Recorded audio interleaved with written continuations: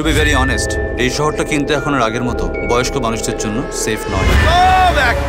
মানসিক অবসাদ আত্মহত্যা। হরে কৃষ্ণ নাম দিল জন্মাষ্টমী। দিনটা যশোদা আর ছোট্ট কৃষ্ণের দিন। আমাদের এ গল্প আর এক মা আর ছেলের কাহিনী। জবের পর পশ্চিমবঙ্গে প্রমোটিং হচ্ছে একমাত্র লিগ্যাল ব্যবসা। বৃথা চেষ্টা করছ বাবি আমার বাড়ি কোনো দিন প্রমোটিং করতে দেব না। ওই মাসিমার গোবিন্দ ধাম আমার চাই। মাইসেল তারেক আলী।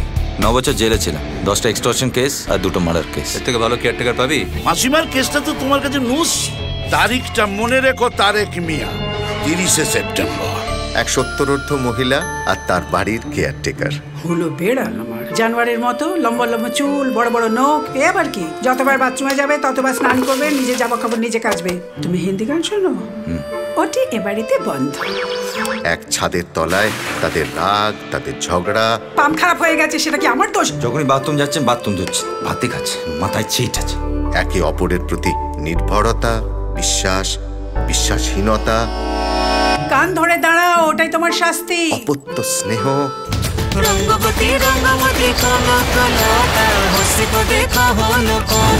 মজা, আনন্দ, উৎসব, এসব নিয়েই এই গল্প। কিন্তু এ সমাজ কি মেনে নেবে? তারেক আলীকে মুক্তিরানীর সন্তান হিসেবে? তুমি আমার কাছে শুধু তারক আলী না গুহু আমি জানতে চাই না। এতদিন বাড়ির ভেতরে অনাচার করছিলেন এখন তো সবার সামনে করছেন কোথাও শুনেছেন নাকি জন্মাষ্টমীর ভোগ একজন মুসলমান পরিবেশন করে গাছের মানুষ হতে কি সত্যি কোনো গোত্র লাগে?